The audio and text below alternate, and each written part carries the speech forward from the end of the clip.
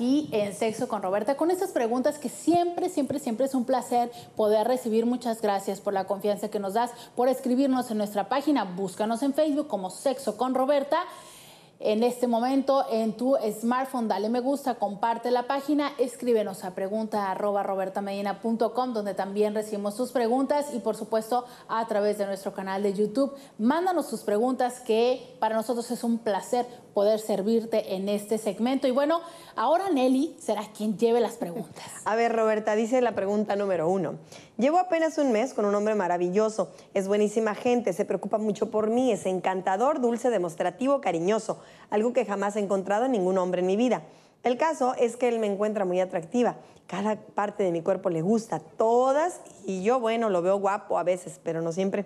De cara sí me gusta, de cuerpo no tanto, pero cuando no estoy con él lo echo mucho de menos. Cuando estoy con él creo que le estoy menospreciando por mis dudas respecto a su físico, aunque le mimo mucho, tengo detalles con él, busco estar con él, le doy sorpresas. ¿Estoy siendo una superficial asquerosa? Yo sigo teniendo dudas sobre si la atracción física puede eh, joderle a él, y joderme a mí, darme demasiados quebraderos de cabeza y lograr que pierda a una persona maravillosa como nunca he conocido. Todos mis ex eran unos enfermos insensibles que me trataron de pena. ¿Algún consejo, por favor? Y gracias.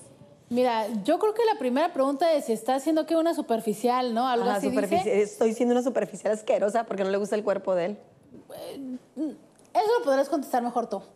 La segunda, yo creo que sí, ¿no? Que es esta parte donde quizá eh, la falta de una atracción física pudiera llevarte a perder a una persona excepcional. Lo más probable es que sí. Si no aprendes a evolucionar esta idea de una forma distinta, o sea, no es cuestión de pelearse con los gustos, sino aprender a reconocer placer y gusto en otras cosas diferentes. Pues es que se ve que está muy contenta y muy satisfecha en, todos los demás sentidos, ¿no? Entonces, a lo mejor está siendo muy exigente. Si le bajas dos rayitas a tu exigencia, igual le alcanzas a ver todo lo bueno que ya nos mencionaste. Claro, y es como, yo siempre pongo los ejemplos, eh, algo muy común, ¿no? O sea, es como, porque siempre tu fruta favorita puede ser el mango, pero si aprendes a disfrutar de las manzanas, no significa que se te, o sea, que ya no te gustó el mango, pero significa que también puedes disfrutar de las manzanas. Entonces, él tiene tantos elementos que para ti son importantes que ¿por qué no darte la oportunidad de reerotizar tu concepto? O sea, a lo mejor tú antes decías, no, no me gustan chaparritos o no me gustan panzoncitos. Bueno, o sea, busca otra ventaja que pueda tener su cuerpo. A lo mejor tiene unas nalgas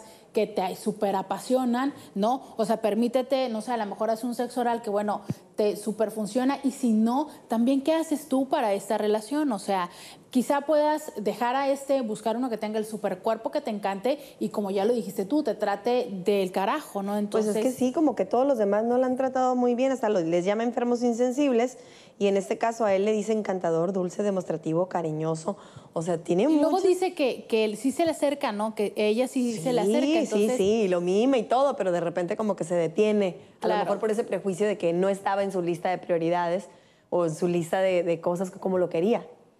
Y es que creo que a veces es tan fuerte para nosotros, digo, no se va a quitar lo que te es atractivo, pero quiero comentar algo que puede ser ofensivo, pero que algún día me dijo una amiga. Que llegue, hasta bonito lo veo.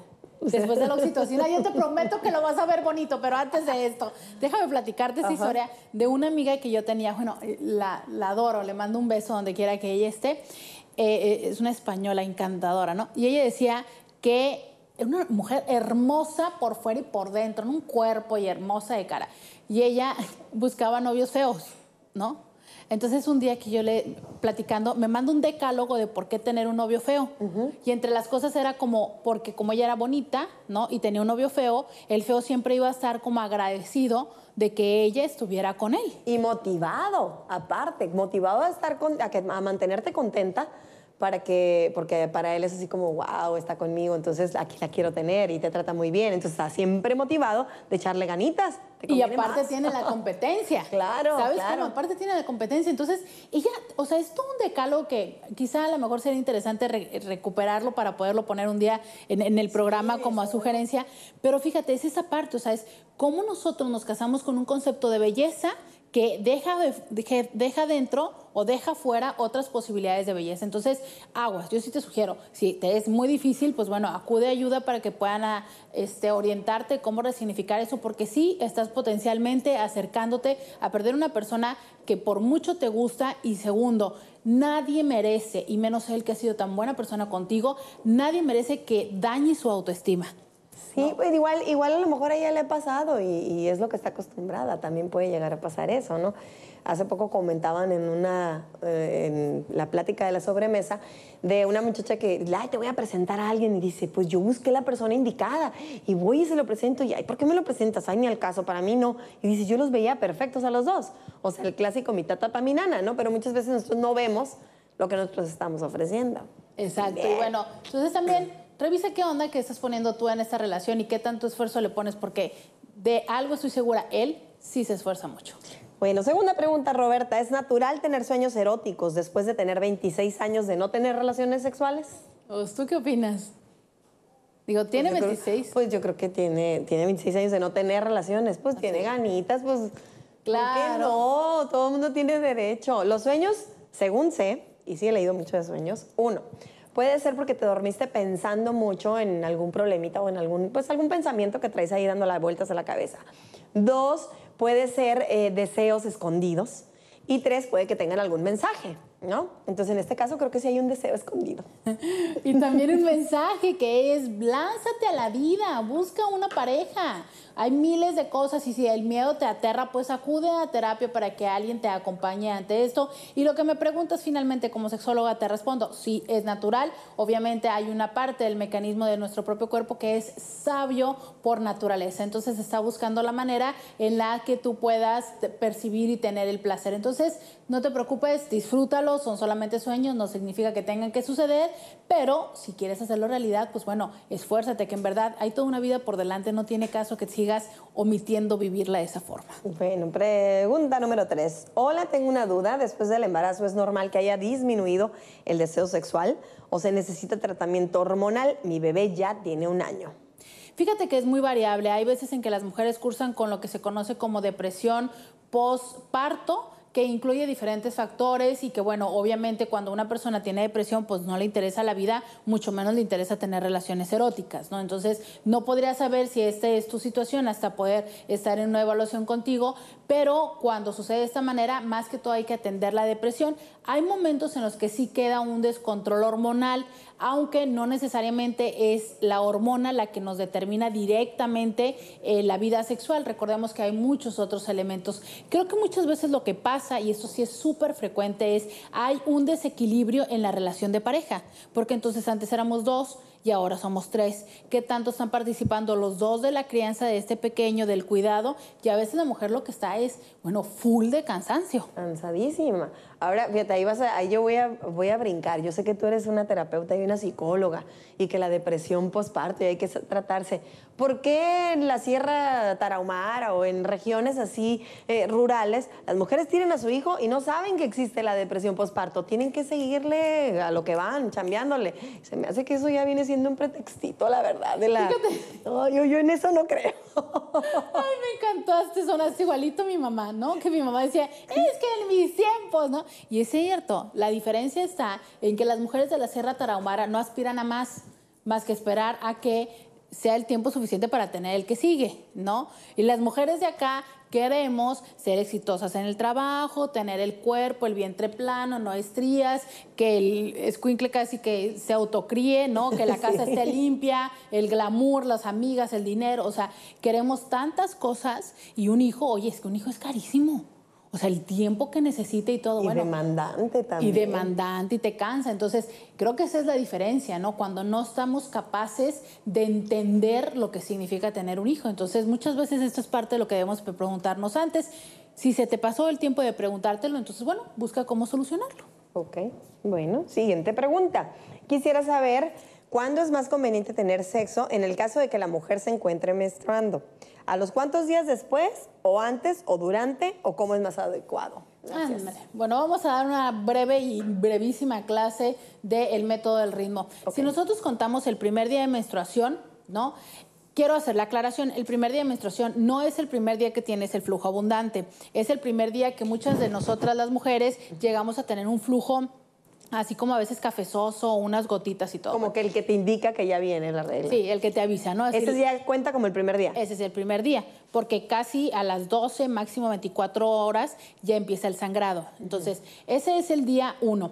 Regularmente hay quienes les duran 4 o 5 días. Bueno, del día 1 al día 14, ese será el día en el que aparentemente el óvulo se esté liberando, ¿no?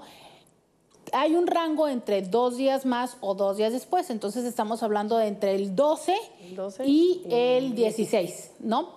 Pero aquí viene lo más interesante. Los espermatozoides duran vivos dentro de la vagina 72 horas, estamos hablando de tres días. Esto es que si tú tuviste relaciones sexuales el día 10 y tú ovulaste el día 12, con eso ya tuviste para un embarazo. ¿no? Entonces estamos hablando de que sería del día 9 al día 19. Újule. ¿No? Y entonces si menstruaste como 5 días o 6 días, pues te quedaron que del 6 al 9 te quedaron 3 días y luego del 19 al aparente 28, que es el último día, pues te quedaron nueve días, ¿no? Sin embargo, este es el método del ritmo más básico, solo que tenemos que recordar, la mayoría de las mujeres no somos regulares. ¿No? Para que una mujer sepas cuánto mide su ciclo, si 28 o 30 o 32 días tienen que medirlo, llevar la notificación dos años. O sea, estarlo anotando. Entonces, en dos años tú sabes. Y aparte recuerda lo siguiente, ¿no? Que es tenemos un ovario que funciona un mes y otro ovario que funciona otro mes. Pero las mujeres somos hormonales. Si sucede algo durante este mes que te pone preocupada, estresado, tienes algún problema, puedes activar tu otro ovario y aunque tú lleves las cuentas perfectamente, adivina, estás ovulando al mismo tiempo que puedas estar menstruando. Entonces, finalmente, esos son los días, si eres regular, pero sabemos que no hay una certeza absoluta. Nada como un método, ¿verdad? Nada como doble. Y, en cuanto a esta misma pregunta, ¿es, conveniente que tenga sexo eh, durante la menstruación? Fíjate que yo creo que eso es a total elección de las personas, ¿no?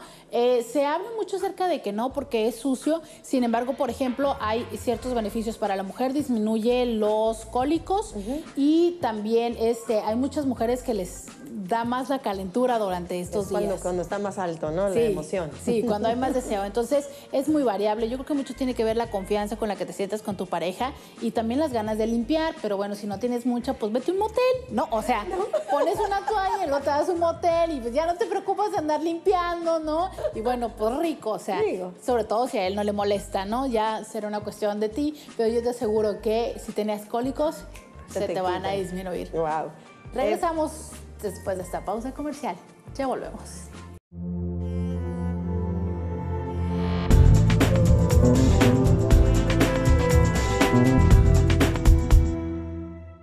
Si quieres solucionar un problema personal, algo en tu relación de pareja o solamente quieres consejería, algunas preguntas respecto a la sexualidad, por supuesto, márcanos 681-1993, el centro especializado en psicología y sexología integral, el primero en la región con más de ocho años de experiencia. Somos tu mejor opción. Roberta Medina, psicóloga, sexóloga y terapeuta sexual, 681-1993 o búscanos en Facebook como Sexo con Roberta.